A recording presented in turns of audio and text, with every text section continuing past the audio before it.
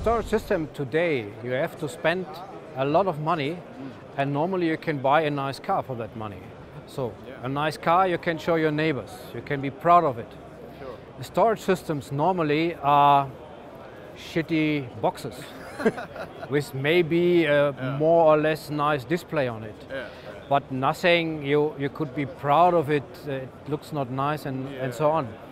And we uh, uh, asked the designer to make us a nice housing that uh, everybody can see its quality, its innovation, and it's new technology and I, I like to have this and I can be proud of this and I can show it all my neighbors. okay. Um, and the next target uh, I gave the designer was I don't like displays because normally you go not to the storage system, switch the display on and see what's going on. Yeah, yeah. So the idea was in one second I like to see what's going on, what is the status, what is he doing in the moment. So, and if you see that design, you will see that you can uh, have lights that show you what is the state of charge, and you can see energy directions. What is coming in? Is it PV energy? It's green. Is it grid energy? It's blue. Or is it storage energy? It's orange. So with with what in, you look one moment to the system and you know exactly what's going on without a display.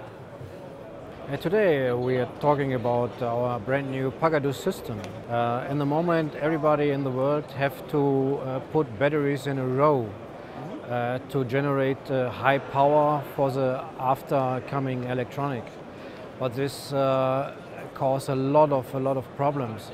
You have to choose batteries always with the same capacity, from the same manufacturer, uh, with the same technology, with the same age and state of charge and so on. Um, and this brings me as a designer for storage systems all the way to borders. I'm limited in the numbers of cells, I'm limited in the capacity of the cells, and I have in future problems if one cell uh, will be uh, broken in five years, I have to change a brand new one and put them to old uh, uh, batteries and that causes a lot of more problems.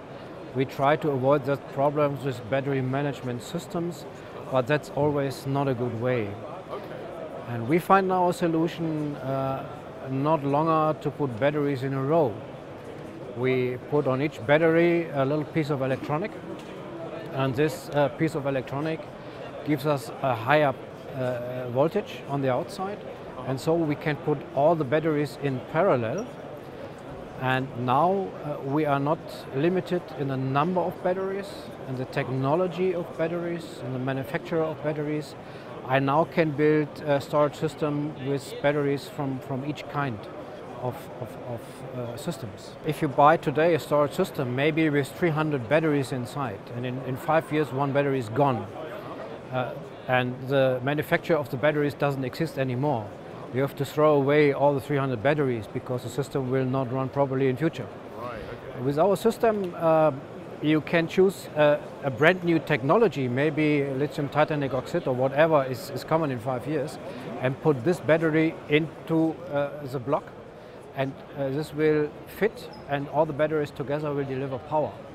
So maybe your storage system will run for the next 100 years, uh, and each gone battery will change to a brand new, maybe brand new technology battery. So your storage system is for the next 100 years all the time state of the art.